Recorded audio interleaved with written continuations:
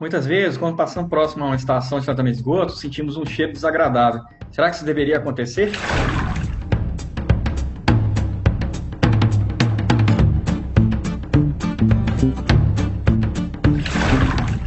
Olá, meu nome é Emanuel Brant, sou professor e pesquisador do Departamento de Engenharia Sanitária e Ambiental da Universidade Federal de Juiz de Fora, colaborador do INCT ET Sustentáveis atuando aí em linhas de pesquisa relacionadas à digestão anaeróbica e ao esgoto, especialmente em temas voltados para o controle de odores e para o gerenciamento de metano e biogás.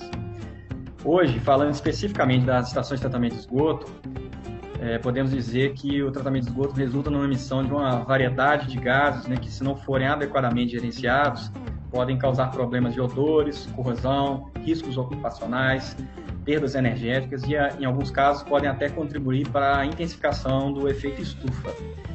Por exemplo, o biogás gerado em reatores anaeróbios de tratamento de esgoto possui elevado poder calorífico né, e pode ser aproveitado energeticamente. Mas quando seu aproveitamento energético não é uma opção atrativa, faz-se necessário queimá-lo, minimizando então as emissões de gases de efeito estufa.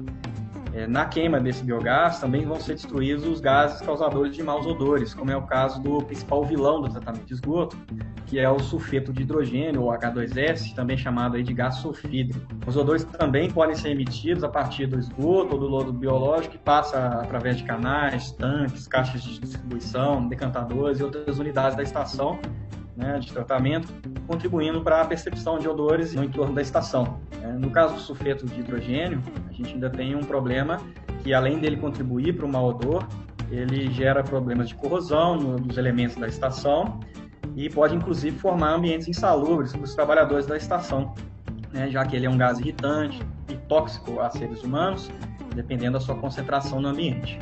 Então, é comum uma estação de tratamento de esgoto apresentar odores a minha resposta é claramente não, né? É, embora os, a geração de odores seja uma questão inerente ao tratamento de esgoto, felizmente a engenharia dispõe de várias técnicas para o seu controle. Em alguns casos, por exemplo, boas práticas de projeto e operação da estação já são suficientes para garantir o bem-estar da vizinhança. Em outros casos, além das, dessas boas práticas, vão ser necessárias ações de controle mais efetivas, como, por exemplo, a adição de agentes químicos, né, que vão evitar destruir o gás sulfídrico, ou até mesmo enclausuramento de determinadas áreas é, da estação para exaustão e tratamento desses odores. É importante ressaltar nesse momento que essas técnicas são acessíveis e adequadas à realidade das estações de tratamento de esgoto brasileiras elas podem ser empregadas tanto em pequenas quanto em grandes estações de tratamento de esgoto. Né? E os pesquisadores do INCT Sustentáveis vêm trabalhando, contribuindo na consolidação e aprimoramento dessas técnicas, produzindo material com conteúdo técnico para projeto e controle efetivo dos odores.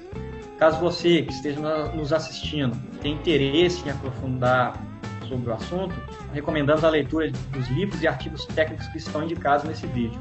Como mensagem final, eu digo que o cheiro desagradável em estações de tratamento de esgoto deve ser uma coisa do passado, né?